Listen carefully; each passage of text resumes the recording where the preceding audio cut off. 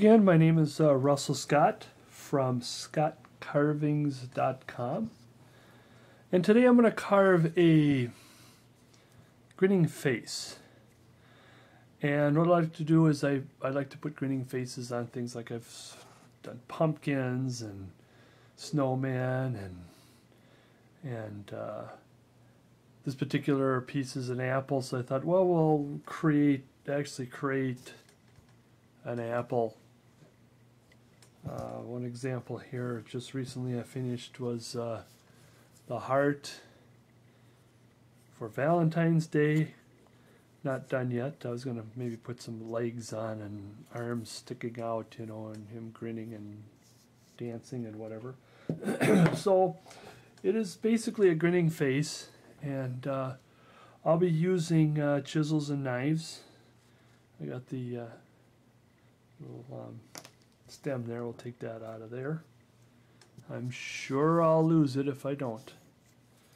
Now this one, uh, you could you could take the the block of wood to the saw on this one here. I'm going to find the grain of the wood, but I'm going to start from scratch. The grain kind of goes a little bit like this, so it's one of these two corners that I want to choose as for the nose. So I'm going to leave that alone. Let's look at the bottoms. Yeah, See how this looks like it gets closer to the center and this is more farther out. So I'll leave that for the nose, but the rest I want to round out.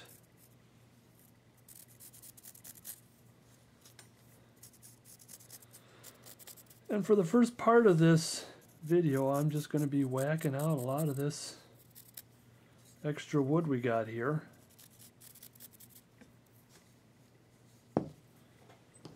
I suppose while I'm doing that, I can, first going to put another glove on. Kind of hurts my hand when I, when I chisel. Let's see how stiff this wood is. Usually, of course, you don't know until you get in there. Now, I like to chisel uh, using my wrist. I'm using my wrist. I'm not using my whole arm. So if I use my wrist, then I could carve in my direction. And not hurt myself. One of the things that I've taught before, said before, is when you carve is you think about what you're trying, what you're, what, how far you want the knife or the chisel to go? And uh, a lot of people may just push a lot of pressure, just push, and don't care where it goes. That's where you get in trouble. That's where you get cuts and get yourself hurt. See, I'm only going to carve like right here. Instead of just starting this end and then snap and have the, the tool go flying. Sometimes I like to really take off some nice hunks of wood there. Oh, what is that? Looks like a, right what I'm carving there. Can you see that? Is that a it is an anom it is an anomaly of some kind. of. go to tool be on the back side. So it looks like we picked the right side. Oh, that was a 50-50. Put that on the ground there. We could have picked that side. I've been carving for, well, as of this video, um, 13 years. Well, is that a good number or unlucky number? Well, let's hope it'll be okay for me. Um, I started out with figures, human figures, and then I went into uh, realistic human figures, and then I went into characters, characters later. And now I do both. Characters and human figures, it depends on what I'm in the mood of.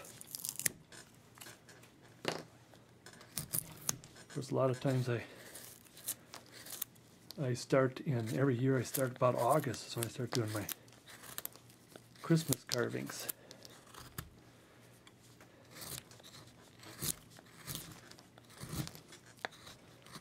Don't carve not much else until after January. And that's when I start. January and February, my favorite two months. And I can carve whatever I want. But I love carving Santas. It's just you keep carving until waiting until Christmas time comes around so I can put it down for a while. That'd be uh, up north in the lakes in the middle of August where it'd be 100 degrees and sweating and sitting on the lake and watching people swim in the lake while I'm carving out Santas and snowmen.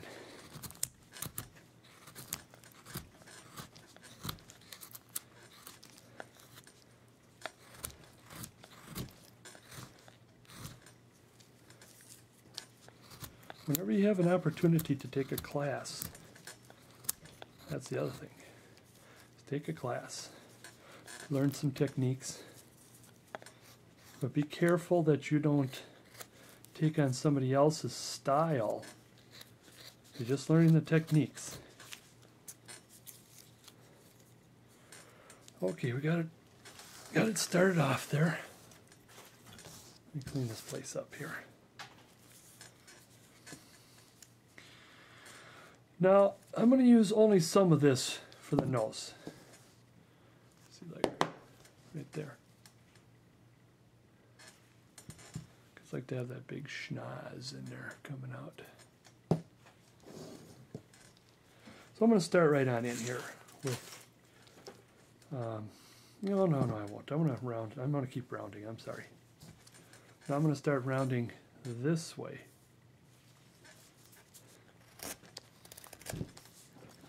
This is the fun part because you start cut, you start cut, cutting around. And you know what? I think for the sake of this video, I'm going to change my mind. I'm going to play with that last. Let's get straight to, let's get to the face. This is the reason why you're watching this video. I can, I can round it off in my own time there. All right.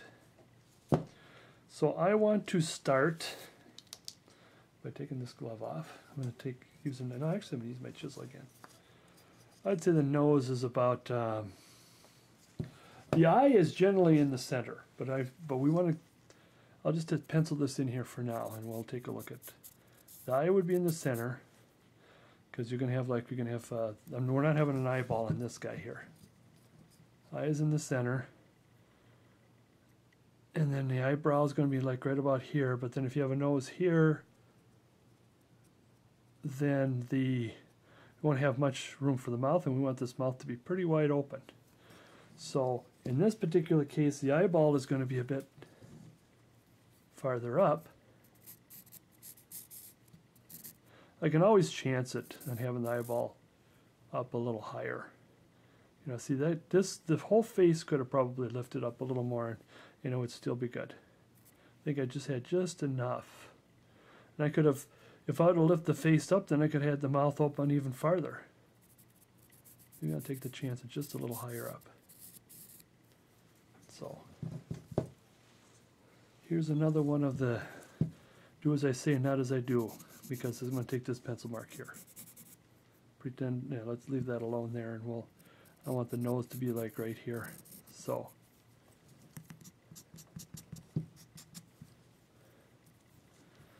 And so the first thing that I want to do, I want, got my eye line, I'm going to bring the eye line out.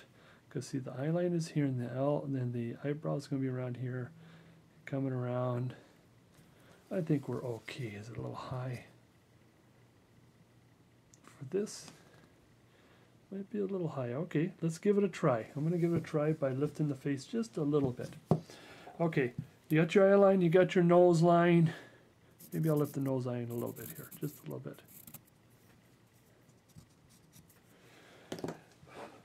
And I'm going to have to take my, my glove back on because I like using the chisel. You can use the knife. And we're going to go right at the nose line and come straight down. Stop cut, and then cut up to that stop cut. And we're going to bring that nose out.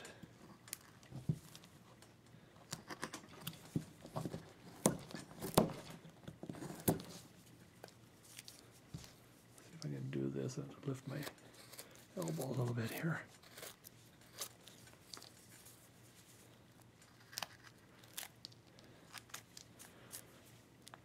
Yeah, it's just to get started. I'm sure we're going to have to smooth that out a little bit more.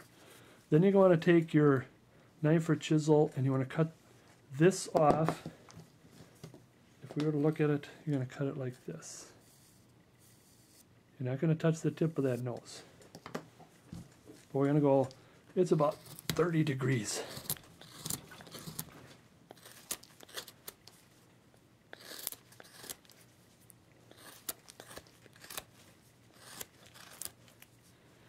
I think this is a fairly decent piece of wood. Okay. Now I can take the gloves off. I think I'm gonna, I'm done with the major, the big chisel there. Get some more of this stuff on the floor. Make sure I don't him back in there just in case I accidentally throw him down on the floor. Anyways, get the gloves back on.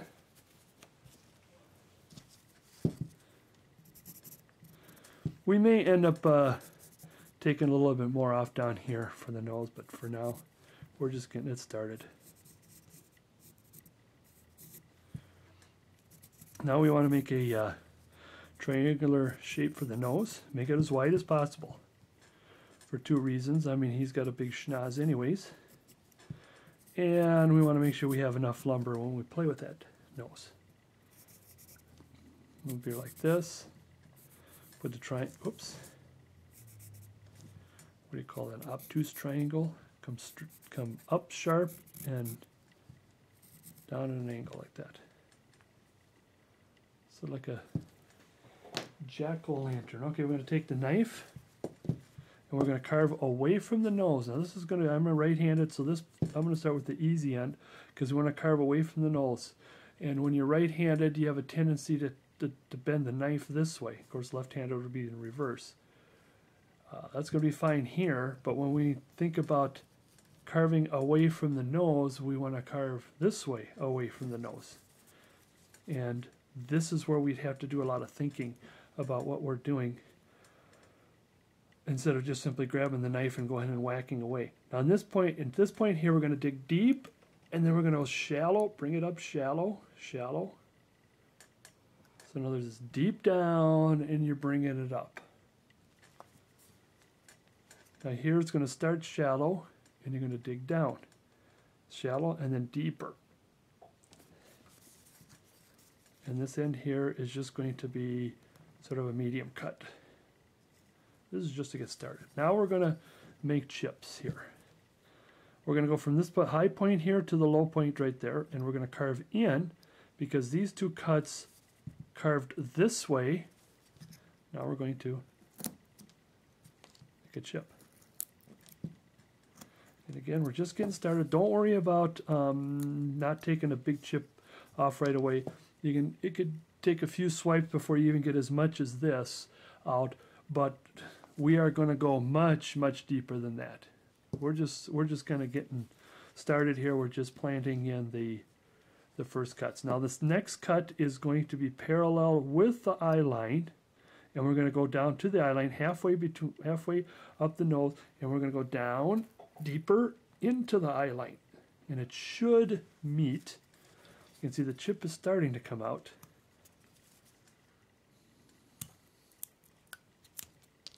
No prying.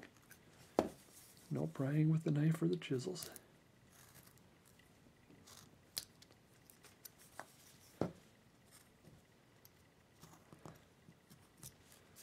Okay, doesn't have to worry. We don't have to worry about it being too clean. I mean, I like to have it clean for the camera. Now, one thing is about the camera, it picks up the littlest thing. I can have that clean perfectly, but the but the camera really picks up on the junk.